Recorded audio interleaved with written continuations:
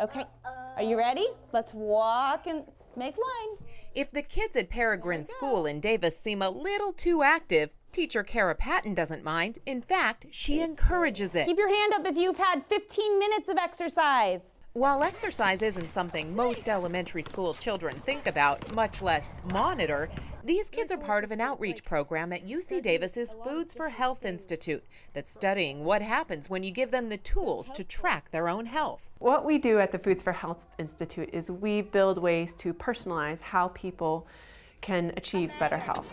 Something that keeps track of your exercise and like if you fill up the bar it means you got an hour of exercise. It's got a, a nifty little guy that says how much time you have. I've exercised 13 minutes, so I have 47 minutes left.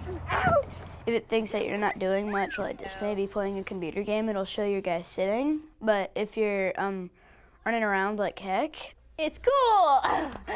and that's the goal to get their guy and these guys moving and to teach them at an early age that being healthy is not only important, it's fun. There you go. Actually puts health management into the hands of school children so that they can actually learn how to make healthy decisions. I hope that even when we take the watches away, that they're still engaged in their exercise in the same way and just more knowledgeable about their health.